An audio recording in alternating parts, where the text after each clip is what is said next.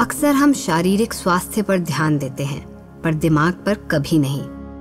शरीर पे लगी चोट हमें दिखती है तो हम उसकी दवा ले लेते हैं।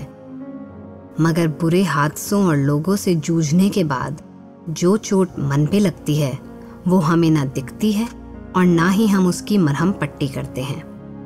हकीकत ये है कि जब आपका मन स्वस्थ रहेगा तो आपका शरीर और जीवन सरल और शांत खुद ही हो जाएगा। ध्यान एक ऐसी प्रक्रिया है, जिससे आप निश्चित रह सकते हैं कि आपके ना सिर्फ़ पुराने मन के घाव भरेंगे, बल्कि भविष्य में भी आपका मन बलशाली और स्वस्थ रहेगा। आज से रोज ध्यान करके हर दिन हम अपने मानसिक स्वास्थ्य को अहमियत देंगे। तो उसके लिए ध्यान में बैठते हैं। एक आरामदायक स्थिति में बैठ जाएँ। कमर सीधी रहे, ये ध्यान रहे। दोनों हथेलियाँ गोद में रख लें। अंगूठों के छोर आपस में जोड़ लें। चेहरे पर एक मन सी मुस्कान आने दें। आँखें बंद कर लें। और अब एक लंबी गहरी सांस भरते हुए उसे शरीर में रोक लें। सांस को मुँह से छोड़ें और शरीर के किसी भी तरह के तनाव को अब शरीर के बाहर जाने दें जाने दें जाने दें। एक और लंबी गहरी सांस भरें, देखें कि ये पेट तक चली जाए और इसको रोक लें।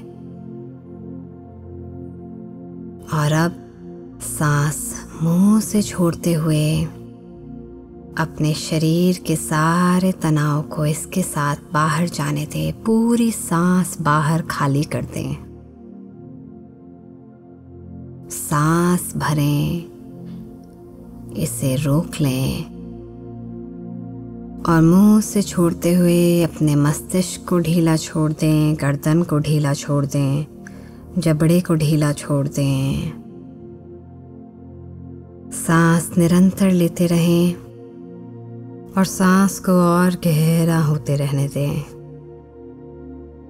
हर सांस देखिए, आपकी रीढ़ की हड्डी को साफ़ करते हुए चल रही है। आपकी रीढ़ की हड्डी आपके मस्तिष्क से जुड़ी हुई है और इसके अंदर सारी ऊर्जा हर वक्त प्रवाहित हो रही है। हमारी कुंडलिनी जागरण भी यहीं पर होती है।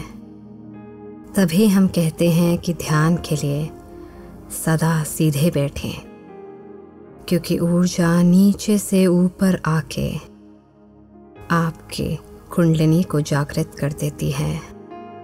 आप वो सब कुछ देख पाते हैं जो आँखों से नहीं, दिव्य आँखों से दिखता है, दिव्य दृष्टि से दिखता है। आप अपने भविष्य को भी जान पाते हैं।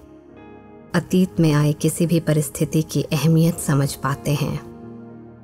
आपका इस दुनिया में हर किसी से क्या लेन देन है, ये आप आसानी से समझ पाते हैं। और जब हम ये समझ जाते हैं कि हम किस तरह कर्म बंधनों से दूसरों से जुड़े हुए हैं तो हम उनको माफ़ भी कर पाते हैं और खुद भी उनके साथ कोई नए कर्म नहीं जोड़ते। हम उन सारे निचले विचारों से ऊपर उठ जाते हैं, जो हमें घृणा, ईर्ष्या, दुख से भरपूर रखते हैं।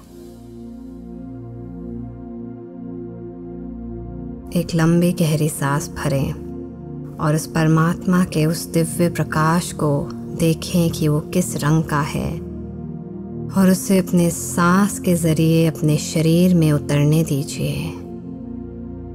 शरीर के किसी भी हिस्से में दर्द हो, रुकावट महसूस हो रही हो कालिक महसूस हो रही हो तो इस सांस को वहाँ केंद्रित कर दीजिए।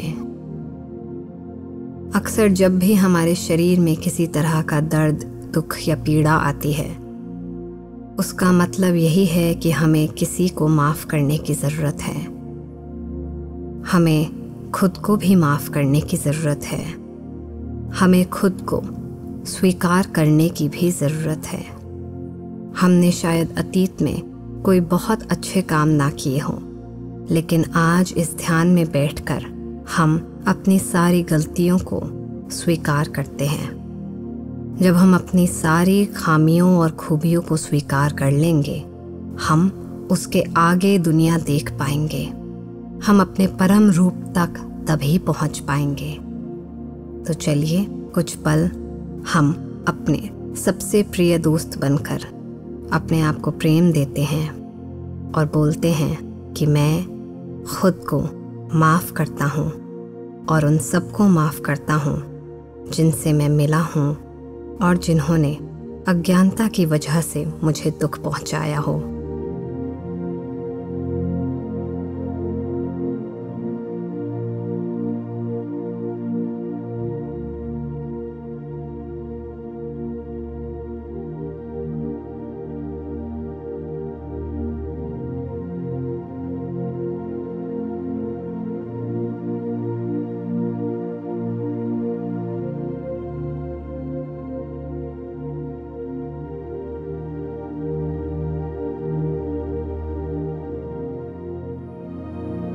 सांस निरंतर लेते रहें और हर सांस के साथ देखिए कि शरीर कितना हल्का हो रहा है।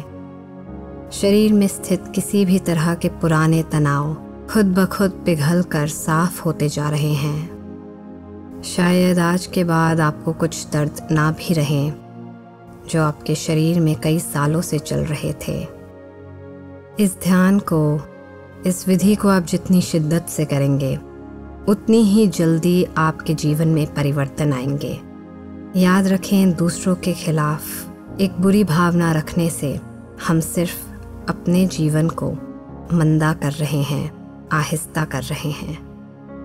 तो चलिए, एक नई ऊर्जा अपने अंदर समाते हुए अब हम अपने जीवन में वापस आएँगे। दोनों हथेलियों को आपस में रगड़िए। और आँखों पर रखते हुए देखिए कि ये सारा प्रकाश आपके भीतर जा चुका है। और अब धीरे से आँखें खोलिए। एक नए दृष्टिकोण से आज से हम इस जीवन को देखेंगे और हर पल अपना ध्यान रखेंगे।